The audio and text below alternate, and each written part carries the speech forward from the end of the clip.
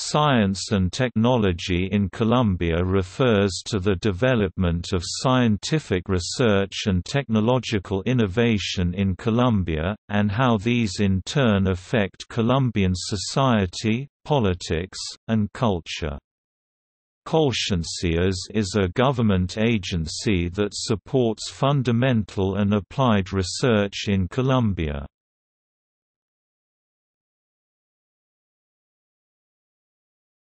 Topic: Research groups in science and technology. Colombia has more than 3,950 research groups in science and technology.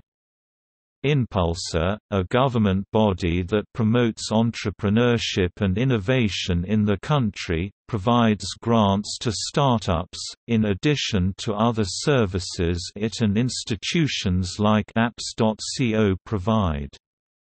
Co-working spaces have arisen to serve as communities for startups large and small. Organizations such as the Corporation for Biological Research for the support of young people interested in scientific work has been successfully developed in Colombia.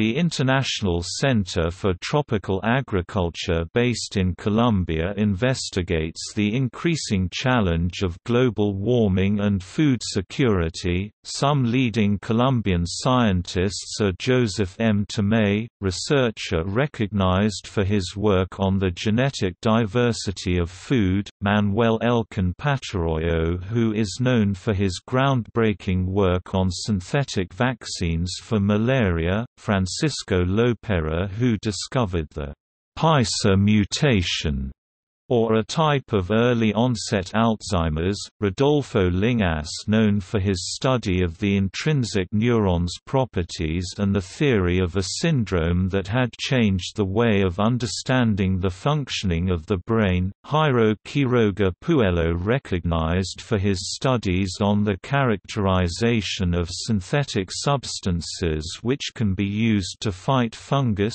tumors, tuberculosis and even some viruses and Angela Restrepo who established accurate diagnoses and treatments to combat the effects of a disease caused by the Paracoccidioides brasiliensis, among other scientists.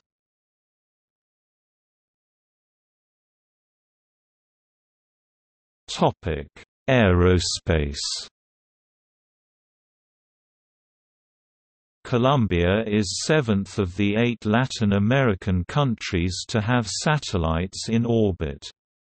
On April 7, 2007 Libertad I CubeSat, was sent from Baikonur Cosmodrome, to orbit around the planet offering telemetry information and as a research purpose. It represents a milestone in the history of Colombia and the first step of the Colombian aerospace development.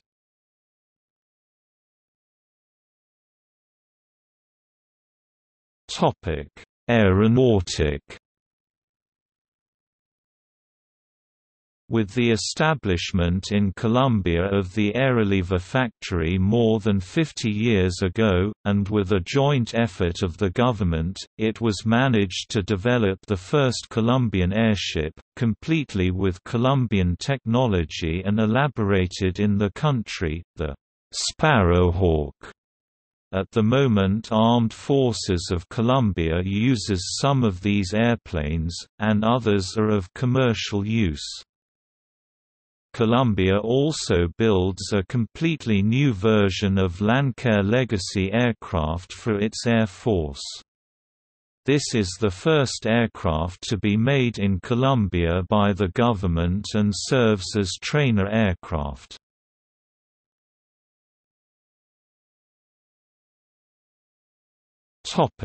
Naval Colombia has one of the largest if not the largest shipyards in Latin America located in Cartagena. it produces fluvial support patrol ships, like the ARC-TF Juan Ricardo Oyola Vera which were developed by Cotecmar Co. These ships are intended to patrol rivers and littoral waters and features a helicopter deck.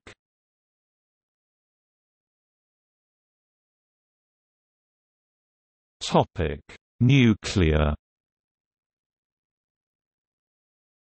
The ENR-1, which was donated by the United States and is currently located in Bogotá, is a small nuclear reactor that was reactivated recently after being inactive for a few years. The ENR-1 is used for research purposes. This reactor is used in the production of neutrons and every year it provides 4,400 samples for analysis. The electricity production in Colombia comes mainly from renewable energy sources. 69.97% is obtained from the hydroelectric generation. Colombia's commitment to renewable energy was recognized in the 2014 Global Green Economy Index (GGEI), ranking among the top 10 nations in the world in terms of greening efficiency sectors.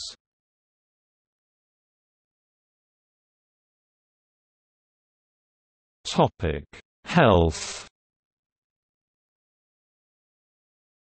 As of 2007 Colombian medicine has been recognized as one of the most advanced in the world.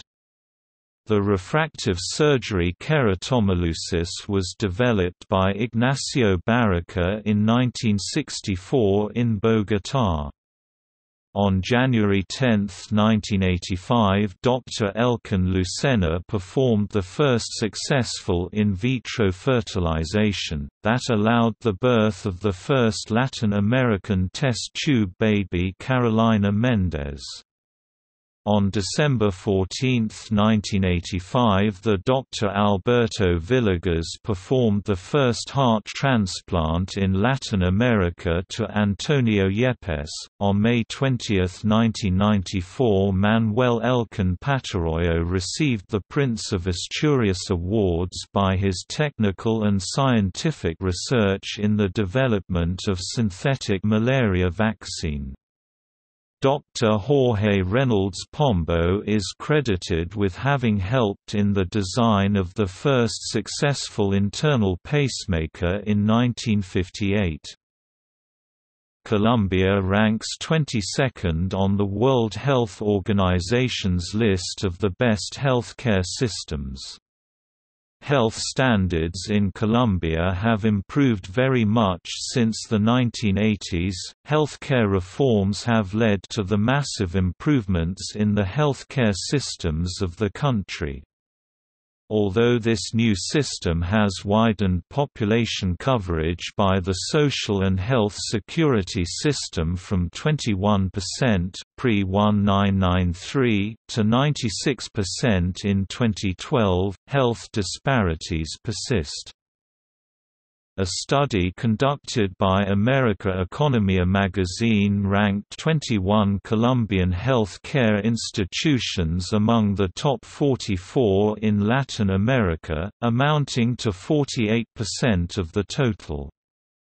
A cancer research and treatment center was declared as a project of national strategic interest.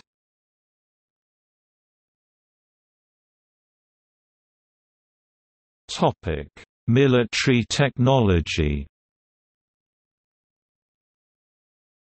Colombia has begun to innovate in military technology for its army and other armies of the world, especially in the design and creation of personal ballistic protection products, military hardware, military robots, bombs, simulators and radar equals equals see also